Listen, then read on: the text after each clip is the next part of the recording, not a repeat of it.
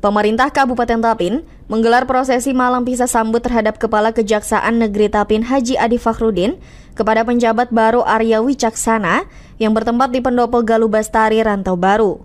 Acara pisah sambut yang berlangsung penuh khidmat dan rasa kebersamaan ini turut dihadiri para tamu undangan dari berbagai elemen, termasuk pejabat daerah Kabupaten Tapin, instansi penegak hukum, pihak perusahaan, hingga perwakilan dari tokoh masyarakat dan agama di Kabupaten Tapin.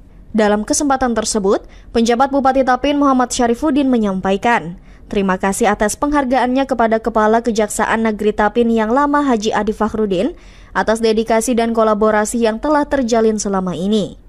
Untuk itu pemerintah Kabupaten Tapin turut mengapresiasi segala bentuk dedikasi dan sinergitas yang dilakukan oleh pihak Kejari Tapin dengan pemerintah daerah selama ini terutama dalam upaya menegakkan hukum dan keadilan di wilayah Kabupaten Tapin secara adil dan profesional. Selain itu, penjabat Bupati Tapin juga turut menyampaikan ucapan selamat datang kepada Arya Wicaksana selaku Kejari Tapin yang baru dan diharapkan jalinan sinergitas dengan pemerintah daerah tetap terjaga dengan baik serta mampu menindaklanjuti segala bentuk program kerja yang sebelumnya telah dilaksanakan oleh Kejari terdahulu. Pertama-tama kepada Pak Adi Fahrudin SMH kami ucapkan terima kasih dan penghargaan yang setinggi-tingginya atas segala pengabdian kerjasama selama bertugas di Kabupaten Tapin selama 2 tahun 7 bulan. Kami sangat mengapresiasi dedikasi Bapak dalam menegakkan hukum dan keadilan di wilayah ini, serta sinergi yang terjalin dengan baik bersama pemerintah daerah dan seluruh pemangku kepentingan. Selama masa kepemimpinan Bapak, banyak prestasi dan inovasi yang telah dihasilkan, terutama dalam hal memberikan pelayanan hukum yang adil dan profesional pada masyarakat Tapin. Kami doakan agar Bapak senantiasa diberi kesuksesan dan kesehatan di tempat tugas yang baru dan kami berharap hubungan yang baik telah terjalin selama ini akan terus terjaga di masa yang akan datang.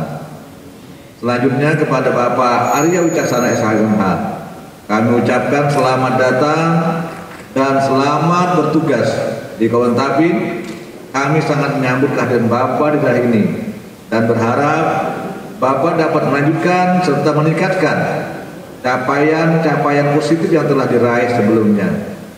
Kami yakin di bawah kepemimpinan Bapak, Kejaksaan Negeri Tapin akan terus berperan aktif dalam menegakkan supremasi hukum, menjaga keadilan, serta memberikan rasa aman bagi masyarakat Tapin. Kami pemerintah Kabupaten Tapin akan senantiasa mendukung dan bekerja sama dengan Kejaksaan Negeri dalam menjalankan tugas serta tanggung jawabnya. Harapan kami, kolaborasi ini dapat terus berlanjut untuk menciptakan pemerintahan yang bersih, transparan, dan akuntabel, serta meningkatkan kesejahteraan dan keamanan masyarakat. Amrullah, Tapin TV.